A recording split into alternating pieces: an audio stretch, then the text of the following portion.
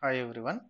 In this video you are going to see the timing properties of multiplexer and later we are going to see I will write here what are the different things you are going to learn in this video. One is timing properties.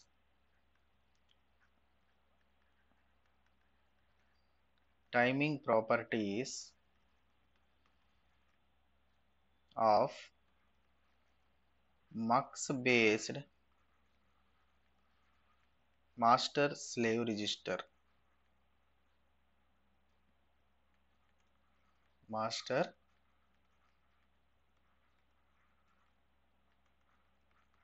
master slave register.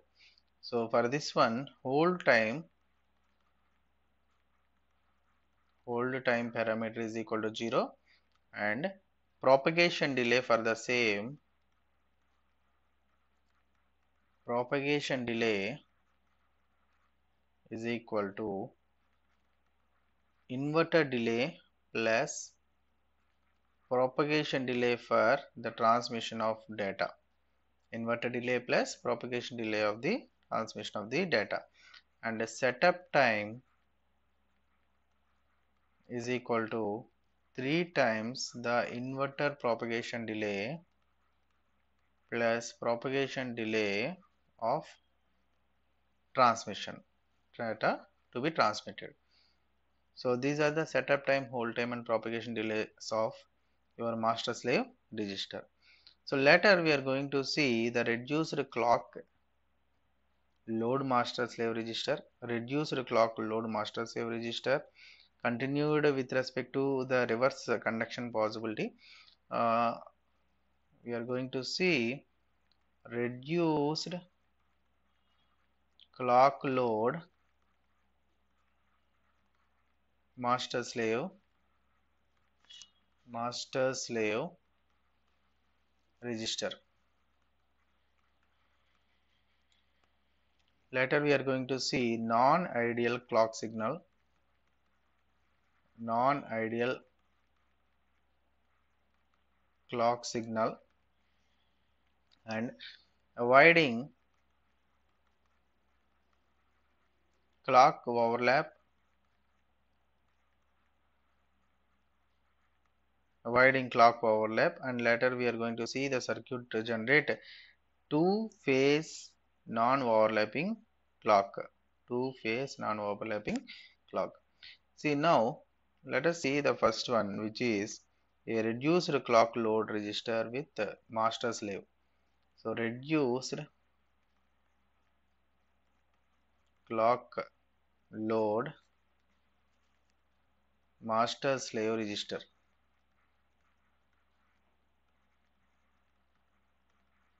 master slave register.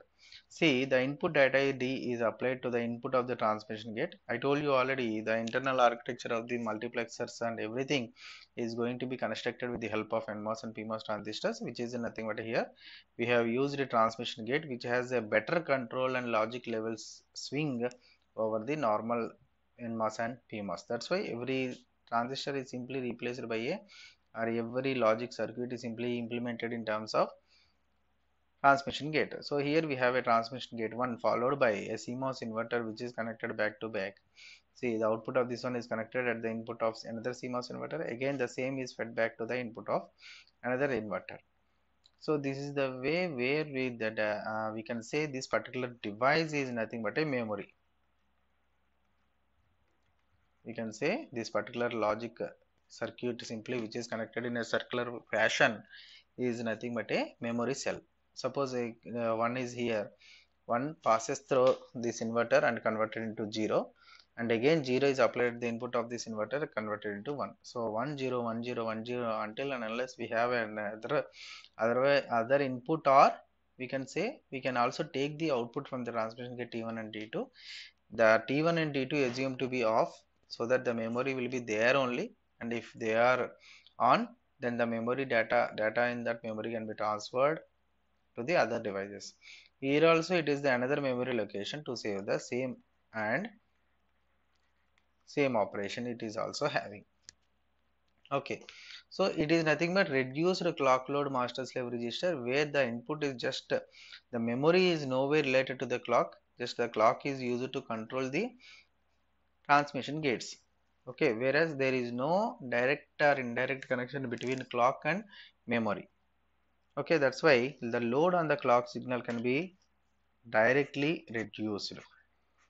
Okay so that's why it is reduced clock load. Master slave register. The same can also be just explained when we are having in the reverse operation. Let us assume a situation where the input is applied like vdd here and 0 here. Nothing but it is off completely off because PMOS transistor is applied with VDD and NMOS transistor is applied with a 0 so the transistor T1 is completely off.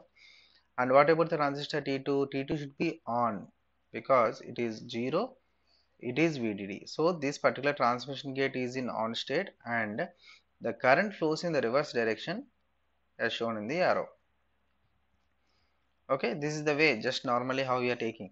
And in the suppose in the reverse operation if the first transmission gate is in on state and second transmission gate is in off state then that uh, current should be transmitted in the reverse direction. In the forward direction we can say. Okay. So now coming to this non-ideal clock signal. Non-ideal clock signal non-ideal clock signal and ideal clock signal. What is the difference between clock signal which is ideal and which is non-ideal so ideal clock signal is having an abrupt changes from 0 to 1 and 1 to 0 but whereas practical clock signals which are non-identical which uh, they are having slight difference at particularly rise time and fall time. So they exhibit some rise time and fall time. Immediately they will not go to 1 or they will, immediately they will not come to uh, 0 because some changes or occurrence of resistance and capacitance in the generation of the clock signal. So we are having the non-ideal clock signal which is applied to the same type of logic circuit. Then the operation of this particular circuit is going to be changed and it will not as in the case discussed in the previous case because there is no sudden changes or abrupt changes occurred in the generation of the clock. So you may have an operational change at this particular situation here and here here also see see here there is a gap between the occurrence of logic high and logic 0 because of this gap the circuit won't work properly. See clock if you are taking clock which is in the true form 0 to 1 transition occurs at this particular point but 1 to 0 transition occurs at this particular point. So there exists some time gap between clock and clock bar okay so that's why uh, because of this but what we generally think whenever we are having the 0 to 1 transition in the clock clock bar you should also have 1 to 0 transition at the same instant but it is having some delay.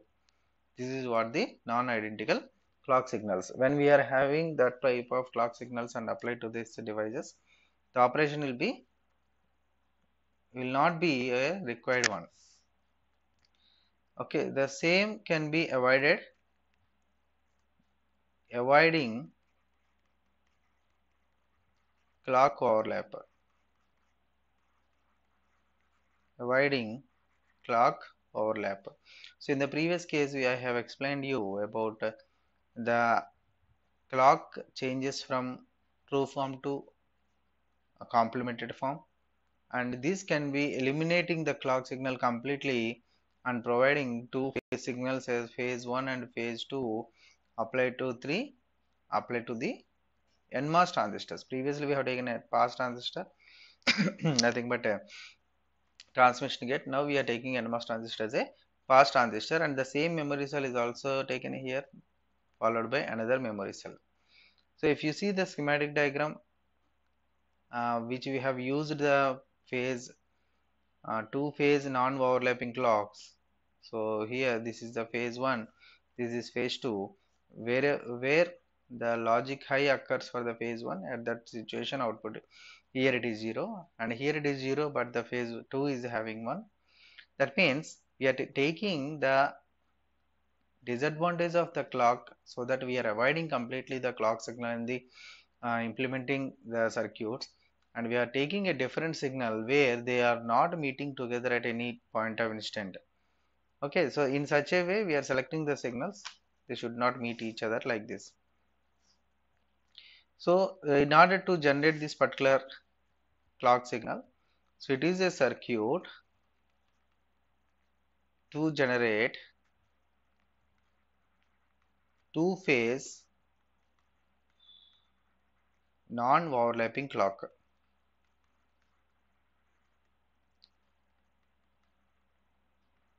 It is a two phase non-overlapping clock. So this is the circuit which is used to generate a two phase non-overlapping clock signal. See here, we are taking an inverter here, we are taking a buffer here and the output the same clock is appeared here and whereas it is a complemented form which is appeared at the input of the second NOR gate. So later we have already known we already known that it is nothing but a latch which is just a back-to-back -back connected fashion of the uh, NOR latch. We can say it is NOR latch. NOR latch which are connected in general or conventional way. So now coming to the overpowering.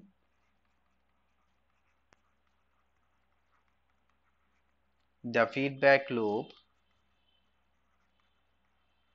Overpowering the feedback loop.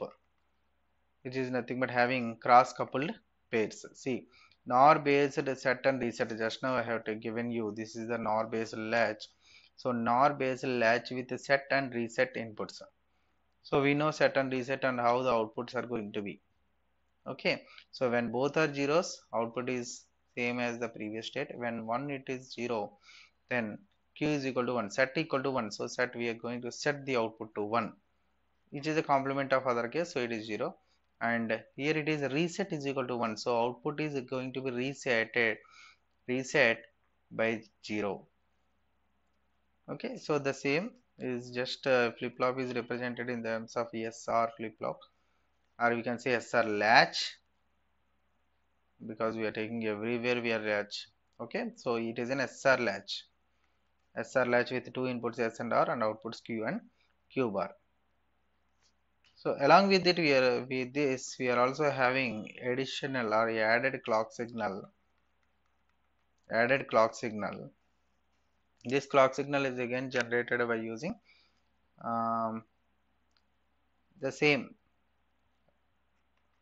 set and reset pins with enable input.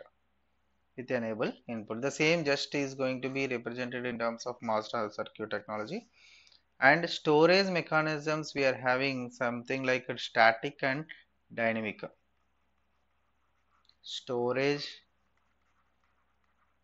mechanism the data can be stored in a memory location that may be either static or dynamic.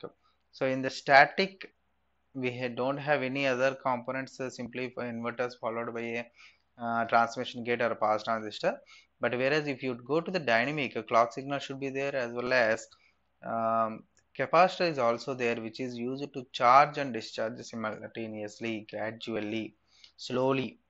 Okay it will not make the circuit to change immediately from 1 to 0 and 0 to 1 so the data can be stored slowly.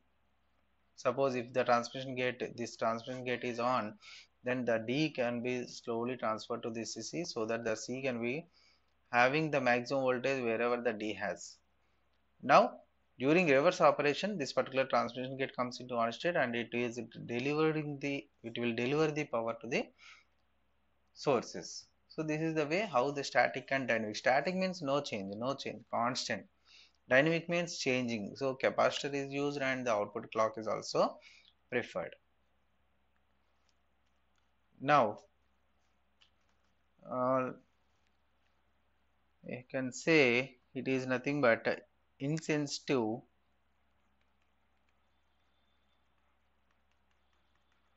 insensitive to clock overlap insensitive to clock overlap. So whatever the clock signal that has been overlapped in the previous case we have seen, irrespective of that, if you are having any dynamic clock, dynamic uh, signal that where the capacitor is connected and the capacitor is charged through this particular uh, path when both M2 and M4 are on and similarly when M6 and M8 are on we can say the capacitor is charged to this. So 0 overlap is not there.